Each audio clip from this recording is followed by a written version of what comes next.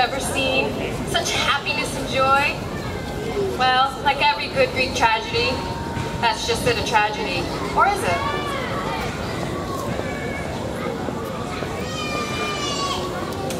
Deianira hears that Heracles is actually dying, slowly. Such a shame. She finds out that that tunic that she thought was covered in a love potion was not. She was lied to. It was actually a deadly poison. She's killing the man she loves.